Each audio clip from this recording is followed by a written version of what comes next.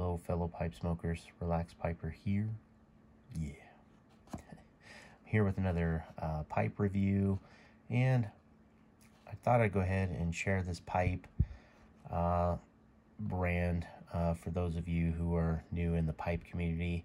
It's not a widely known brand, and I've been checking them out, and I really do like their style, and I always wanted to add a Algerian briar um, pipe to my collection.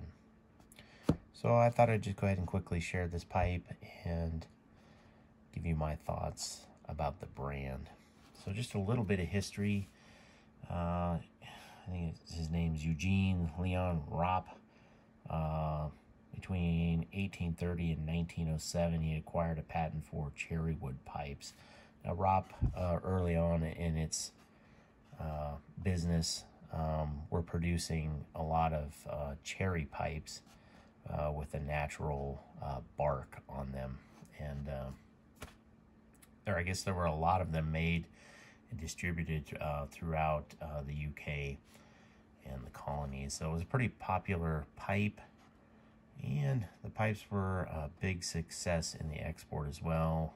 And um, Guess shortly before 1914, Ropp designed um, it to be the ex exclusive distributor in the UK and its colonies. So uh, back in the day, it was a pretty popular brand, and they were known for their cherry wood pipes. And this particular one is Algerian briar, and a lot of people rave about Algerian briar, uh, especially the older ones. And I just thought I would add one to my collection. Um, I was looking for a bulldog, a smaller bulldog, and this one kind of fit the bill. So even though cherry wood pipes were a mainstay of Ropp until the company finally closed down in September of 1991, the company was taken over by Cut uh, Cuty Fort Enterprises, which uh, also owns Chacom and uh, several other brand names.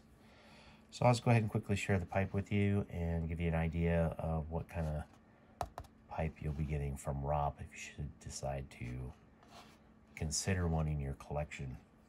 Now on the website, um, there are a lot of different models and I have to say that the company uh, does make some attractive pipes and um, pipes with some beautiful stems. And uh, unfortunately, uh, a lot of the stems are vulcanite, uh, but if you want a softer bit, um, vulcanite's not a bad um, idea.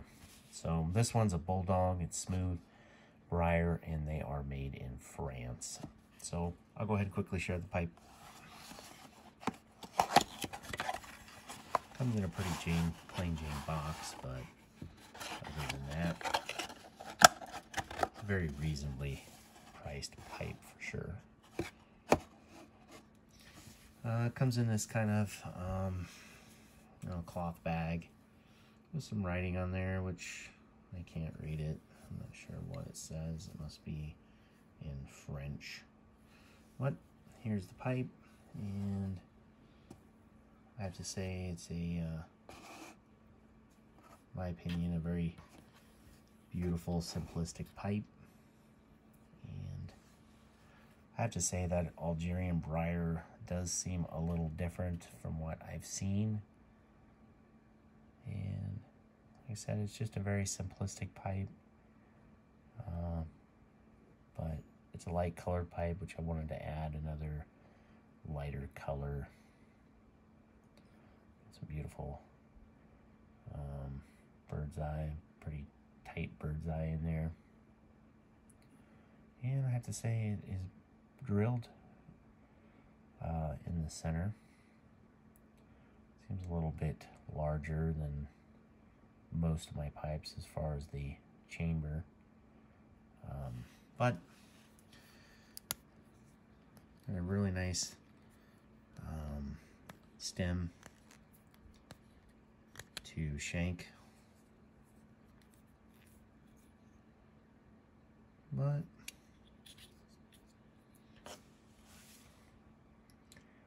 The draft hole is centered. Uh, however, it seems uh, pretty large compared to some of my other ones. So I imagine it's going to draw pretty well. Which is good because I typically uh, like to burn flakes. So, so the stem to shank is nice and tight.